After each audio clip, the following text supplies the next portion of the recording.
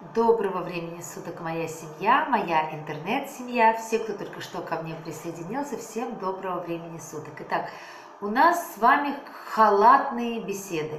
Как я уже открыла такую рубрику у себя, это халатные беседы. Халатные – это ни к чему не обязывающие. Не надо меня там осыпать злыми комментариями, но дело в том, что они все равно будут удалены, мы удаляемся от зла. Понимаете, вот так меня учит моя философия. Вот так мой отец меня учит. Удаляйся от зла. Вот именно так я и делаю. Ну, сами понимаете, мне никак нельзя поступать иначе. Я не могу ослушаться отца.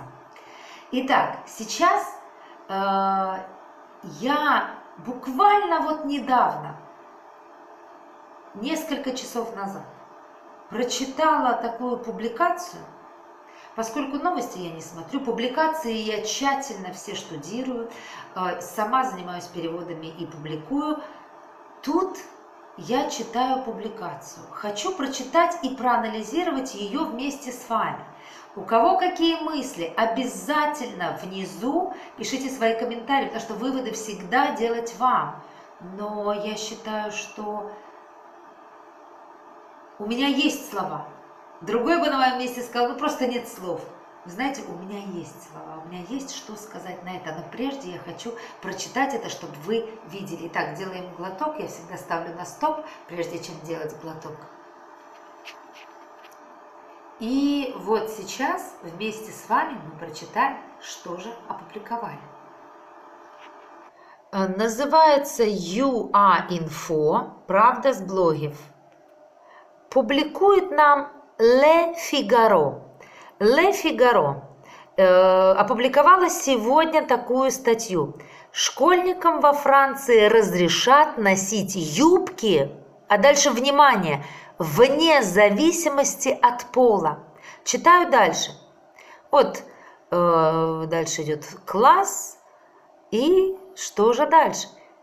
А вот что – Министерство образования Франции готовится к публикации документа, который поможет улучшить условия пребывания в школе для учащихся, сменивших пол. А теперь внимание!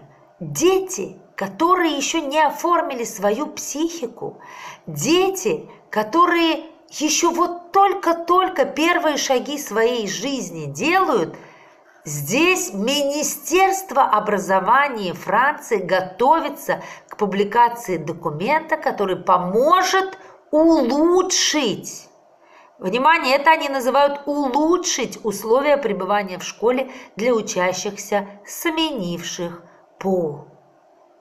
Об этом пишет Le Figaro, информирует uainfo.org.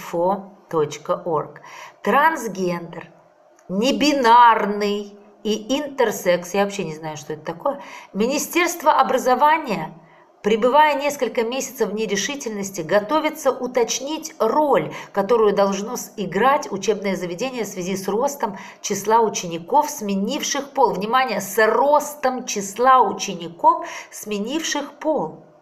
Когда такое было? Которые хотят, чтобы к ним относились в школе нормально. Заслушав представителей учебного сообщества, министерство опубликует циркуляр «Как улучшить условия пребывания в школьной среде для детей трансгендеров». Вы знаете, когда я это читаю, я понимаю, что воистину, вот воистину последние времена настали. Вы знаете, Содом и Гамора, когда пришли вот те последние дни, когда Господь настолько а, был, имел такое, наверное, состояние мерзости от всего увиденного, что полностью сжег Содом и Гамору.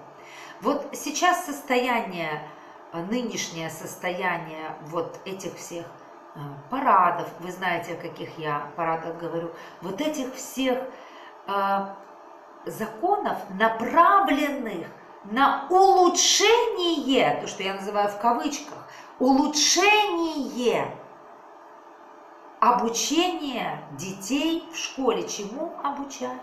Что делают? Теперь Дальше. Вы же понимаете, что происходит. Возьмите ребенка. Вот любой психолог и психотерапевт, лучше психотерапевт, что психологи, каждый из нас психолог, а вот лучше психотерапевт, пусть он объяснит, что это такое. Вот у детей, дети, они, мы все были детьми, и мы все можем сказать, что, например, появилась какая-то красивая кофточка у девочки, которая является лидером в классе. Мы непременно хотим эту кофточку. Появилась какая-то интересная э, сумочка у девочки, которая является лидером в классе. Все девочки смотрят и хотят такую сумочку. Теперь э, возьмите себе на заметку, что у детей есть вот такой стадный инстинкт. Ну, например, э, берем такой момент. Ребенок выходит на улицу в компании, и вожак, скажем так, заводила, вдруг бросает камнем э, в какой-нибудь щит или в окно. Немедленно все, кто с этим парнем и считает его лидером, они тут же все хватаются за камни и тоже начинают это делать. Лидер бежит, видит кого-то там, буллинг, например, в школе, начинает бить, тут же накидывается другая толпа. То есть в школе дети, они еще не управляемы своим сознанием, а больше инстинктами. Понимаете? Примером других. Так вот, пишут, что увеличились а, вот эти люди, я не хочу им ярлыки никакие вешать, они ведь вы не понимаете, если им по 10, 12, 15 лет, ведь они, как в 12-15 лет можно менять пол? Ведь они об этом могут пожалеть миллион раз, когда им будет 21, 25, 30. Разве это можно допускать, уважаемые психотерапевты? Разве можно давать добро, а ведь вы подписываете эти самые справки, за вами последнее слово. Подумайте об этом, подумайте. Это нужно быть совершенно неверующим человеком. В уничтожении вот одной личности, а это с детства уничтожает. Вы видите, как интересно э, сатана взял позицию, начиная с садиков из школ. Вот уже дошел до школ, и вот уже следующий будет садик. А потом из лап матери выдирать будет. Вот мать родила, и сразу же будут выдирать. Теперь внимание. Что говорит нам Священное Писание? Если у вас хоть немножко капли веры осталось, обязательно приобретите Священное Писание, откройте его, и я вам сейчас покажу, что же говорит Священное Писание вот именно на эту тему. Вы знаете, у Бога, у Отца Моего Небесного есть абсолютно на любую э, тему, на любую ситуацию в этой жизни есть ответ. Давайте я вам покажу. Откройте в той части Библию, где второзаконие Старый Завет, главу 22, стих 5, и вы четко прочитаете. На женщине не должно быть мужской одежды, и мужчина не должен одеваться в женское платье, ибо мерзок. Я вот увеличу, чтобы вам видно было, кто, потому что не может приобрести по каким-то причинам Библию, а хотят знать, что же Бог конкретно на эту ситуацию говорит. Мерзок, еще раз повторяю, мерзок пред Господом Богом твоим всякий, делающий сие. Еще раз повторяю, на женщине не должно быть мужской одежды, и мужчина не должен одеваться в женское платье ибо мерзок пред Господом Богом твоим всякий делающий сие. Ну, вы скажете, ну вот сейчас женщины одевают многие мужские брюки. Минуточку, минуточку, женщины одевают женские брюки. женские брюки. Это как, знаете, у мужчин-шотландцев есть чисто мужской кельт. Вот э, кельт такой они одевают. Нет, нет, не путайте, дорогие мои, не путайте мужское одеяние и женское одеяние. Это две большие разницы. Это подмена понятий, кто такое только захочет записать. Вы прекрасно знаете, о чем я говорю. Я говорю открыто именно об этой ситуации, где конкретно имеется в виду женская одежда. И называют они, придумали новые названия, там трансы, шмансы и прочие зажимансы. Придумать можно все, что угодно. Но на самом деле Господь нас создал, вот Адам и вот Ева, а между ними только дерево э, запретным плодом было, и больше ничего.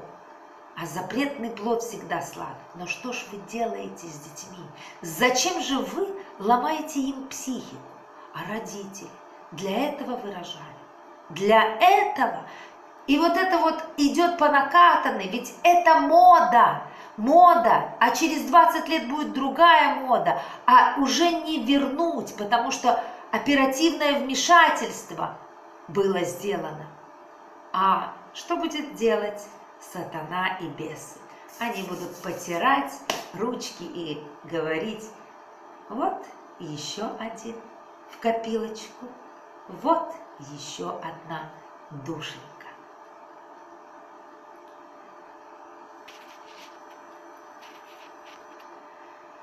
Вот что говорит об этом Библия. Вот подумайте об этом. А дальше что? Туалет будут делить. А дальше что?